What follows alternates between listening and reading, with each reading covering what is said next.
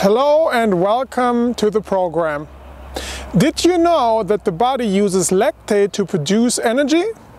Stay tuned and learn about glycolysis and how the body breaks down glucose to provide energy. You will learn about aerobic and anaerobic glycolysis, hydrogen removal, and anaerobic energy production. Glycolysis, the splitting of glucose, is the breakdown of glucose or glycogen in order to provide ATP, which occurs in the liver and in the sarcoplasm of muscle cells. Glycolysis is the energy system that predominantly provides energy for higher intensity activities lasting 15 to 90 seconds and it provides a net gain of 2 to 3 ATP. The initial steps of glycolysis are the additions of two phosphates of the glucose molecule at the expense of two molecules of ATP. The result is a 6-carbon sugar diphosphate molecule and two low-energy ADP molecules. This 6-carbon sugar diphosphate molecule is being split into two 3-carbon sugar phosphate molecules. Each one of the three carbon sugar phosphate molecules is converted through a series of reactions to pyruvate and hydrogen. So glycolysis produces ATP but also two byproducts, pyruvic acid and hydrogen ions. The hydrogen buildup becomes a problem because it causes an increase in the cell's acidity or pH levels, which prevents the cell from functioning properly and hence leads to a halt in energy production. Therefore, the two hydrogen transport molecules coenzymes NAD and FAD are important for glycolysis to occur because hydrogen ion removal must occur so that the cells can continue to provide energy. NAD accepts and transports one hydrogen atom so that glycolysis can proceed. So NAD becomes NADH, its reduced form. NADH has to donate the hydrogen portion to reform NAD so that hydrogen transport removal can continue. NADH can be reformed to NAD in two ways, with oxygen and without oxygen.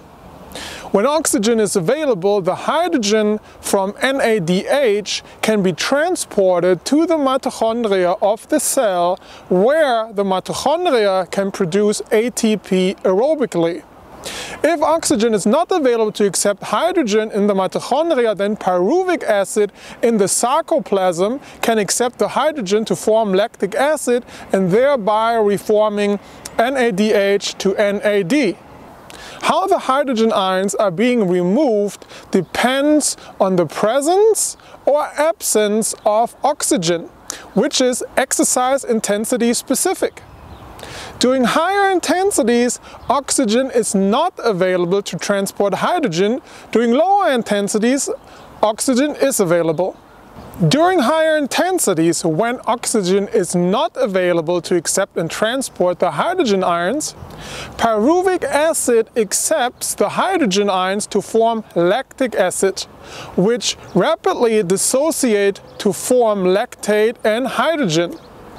Then lactate can either be used by slow skeletal muscle cells or the heart during aerobic metabolism to form ATP or during anaerobic metabolism by the liver to produce glucose via gluconeogenesis where new glucose is being synthesized, released into the bloodstream, transported to muscle tissue and used by muscle cells as energy.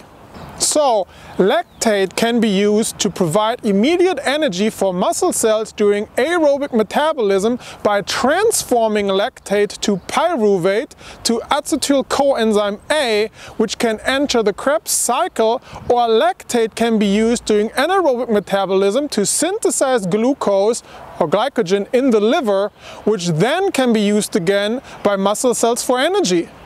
The process by which lactate is being transported to the liver and converted into glucose or glycogen is called the Cori cycle. Well, that's it again for today's episode. As usual, opinions differ. What's your point of view? Let us know below in the comment section. A brand new episode will be available next Sunday. So make sure you don't miss it and subscribe.